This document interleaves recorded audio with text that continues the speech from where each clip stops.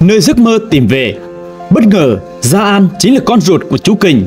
Đời đúng những gì bà Lan đã từng nói Những gì chúng ta nhìn thấy chưa chắc đã là sự thật. Nhìn bề ngoài cứ tưởng rằng mọi việc như chúng ta thấy Đó là Gia An bị mồ côi bố mẹ. Chỉ còn bà Lan là người thân máu mủ duy nhất của anh. Nhưng không, còn những bí mật bị che đậy phía sau mà chúng ta còn chưa biết tới. Chú Kình chính là người bố ruột của Gia An mà chính chú cũng không biết rằng người con mình thất lạc bao nhiêu năm qua giờ lại đang ở trước mặt của mình. Là đứa cháu nội duy nhất của bà Lan, bố mẹ mất trong một vụ tai nạn khi Gia An còn bé chưa biết gì.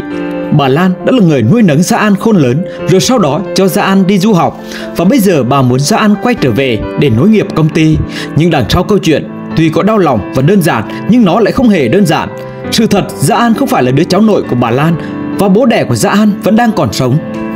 Giờ đây, khi trở về công ty, Dạ An được Phương và Trúc Kình kèm cặp bồi dưỡng.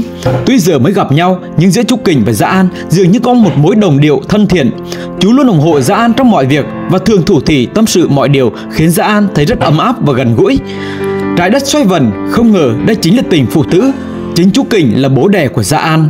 Năm xưa, Trúc Kình đã từng có vợ, nhưng khi đang mang bầu thì cả hai đã ly hôn. Sau khi sinh ra vì không có tiền, người vợ đã để đứa con trước một cửa gia đình giàu có và gia đình giàu có đó chính là bố mẹ nuôi đã mất của Dạ An. Do cưới nhau đã lâu mà cả hai vợ chồng không có con nên đã quyết định nhận Dạ An làm con. Câu chuyện này chính bà Lan cũng là người đã chứng kiến và được bà Lan cùng bố mẹ giữ kín chuyện này. Cơ duyên như được ông trời đưa đẩy khi chú Kình lại làm việc cho bà Lan và trở thành trợ lý đắc lực đồng hành cùng bà suốt bao năm qua.